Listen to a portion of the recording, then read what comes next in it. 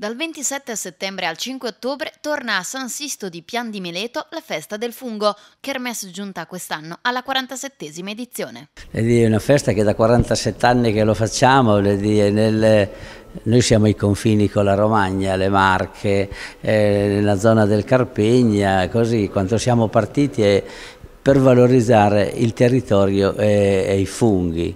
La nostra iniziativa di parte che facciamo due mostre per permettere ai tanti cercatori di funghi conoscerli perché l'invito nostro è quello di raccogliere i funghi, eh, solo quelli commestibili, gli altri lasciarli all'ambiente perché sono molto utili per la vegetazione. Questo è un po' lo spirito, la partenza che abbiamo iniziato alla festa. Da non perdere per gli amanti della buona tavola le cene del bosco. La festa del fungo ha una, un punto fermo tradizionale che è l'iniziativa che facciamo noi Confesercenti insieme ai nostri ristoratori che è il Festival della Gastronomia che dura per tutta la durata del, dell'evento, quindi per 15 giorni i ristoranti faranno dei menù a base di funghi ma anche degli altri prodotti straordinari del Montefeltro a prezzi contenuti.